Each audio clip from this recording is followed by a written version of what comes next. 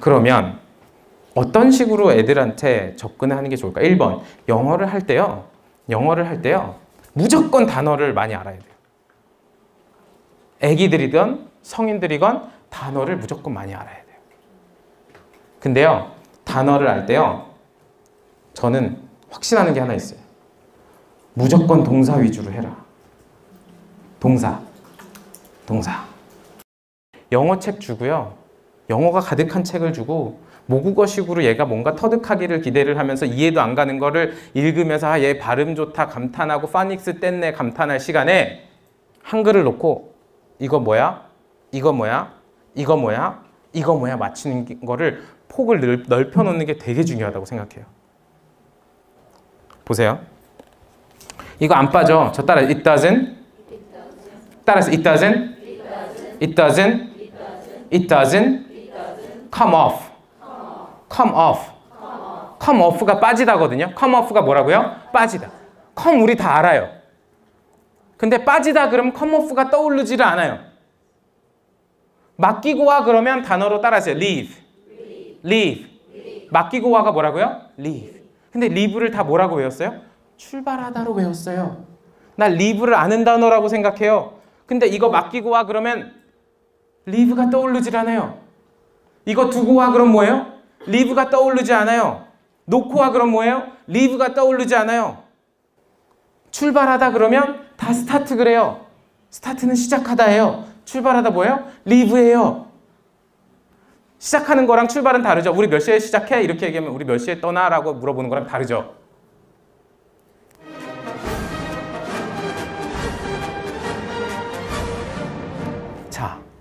한국말을 생각하고 영어가 바로 바로 떠올라야 돼요. 영어를 생각하고 그게 무슨 뜻인지 알아맞히는 영어를 할 게 아니라 우리 애들이 여러분들이 한국말을 떠올리고 그게 바로 영어랑 연결되는 훈련을 해야 되는 거예요.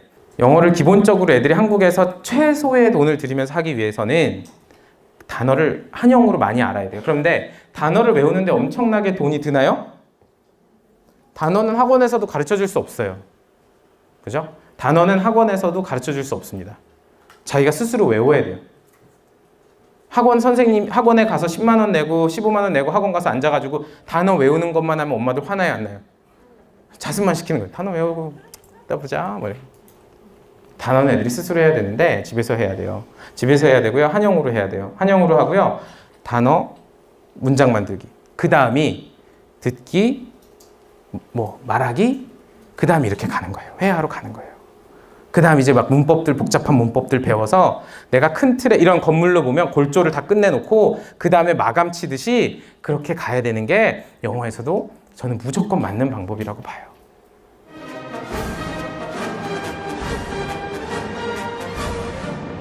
우리 애들이 우리가 바, 생각했던 그런 희생이 다시 안 나왔으면 저는 진짜 좋겠어요. 애들이 이해가 안 가는데 엄마는 그러니까 우리 엄마들은 가끔 그렇게 생각해요. 아, 우리 애는 집중력이 낮아가지고요. 공부를 못해요. 제가 장담하는데요. 집중력 낮은 애들 별로 없어요. 어느 정도로 집중력이 높은지 아세요? 제가 앞에서 얘기할 때 저를 투명 인간으로 만들 수 있어요. 상상의 날개에 집중을 해가지고 앞에서 하는 사람의 얘기를 하나도 수업 시간에 안 듣고 올 수도 있어요. 귀마개를 안 하고 집중력으로 하나도 안 듣고 올 수도 있다니까요. 사실 그거 얼마나 놀라운 집중력이에요. 안 듣겠다라고 집중하는 거에 대한 그 집중력의 범위는 어마어마한 거예요. 집중력의 문제가 아니라 애가 영어를 싫어한다면 관심이 없다면 앞단에서 이해가 안 갔는데 이해가 안 간 걸 해결을 안 해주고 진도가 계속 나간 거예요.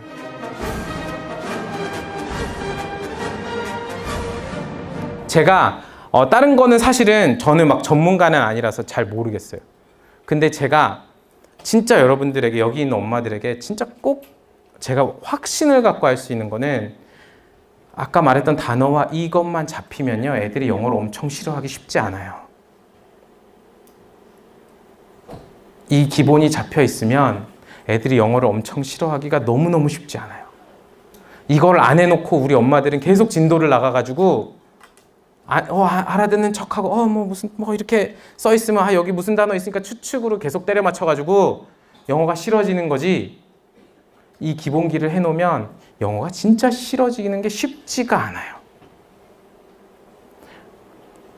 우리 너무 귀한 애들이 있잖아요. 우리 애들에게 우리 애들이 이래요. 저는 그렇게 생각해요. 주- 중학교 성적 시험 오르는 거를 저보고 지금 여러분들 아이들을 놓고 오프라인에서 하라고 하면 하겠지만 사실 제가 그거는 제 전문 분야는 아니라고 생각해요. 근데 제가 여기 계신 어머님들한테 진짜 말씀드릴 수 있는 건 우리 애들이 지금 영어 잘하는 거 하나도 안 중요해요. 스무 살 때 영어 잘하는 게 더 중요해요. 스물다섯, 여섯 살 사회 나갈 때 영어 하는 게 더 중요해요. 제가 중학교 때 그랬잖아요. 영어 점수 50점 밑에였다고요. 근데 그게 지금 되게 중요해요? 전혀 중요하지 않아요. 그럼 저희 어머니 아버지는 초등학교 때 애들 막 다 영어 할 때 제가 영어 안 하고 점수도 잘 못 받고 영어 하나도 못 했을 때 우리 어머니 아버지 기분 어땠을까? 얘가 커서 뭐가 될까 이런 생각을 했겠지 하지 않겠어요? 근데 사회 나올 때 실력이 더 중요한 거잖아요. 조금 더 우리 애들 길게 보고요. 우리 애들 진짜 잘할 수 있는 애들이거든요. 우리 애들 못하는 이유는 뭔가 우리가 준 교육 방식이 잘못돼서 그랬다라고 생각하시고요. 우리가 택한 동기부의 방식에 뭔가 부족함이 있다고 생각하시고요. 그 부분들에 있어서 애들에게 개선을 해주면 우리 애들은 얼마든지 저는 잘할 수 있다고 생각합니다.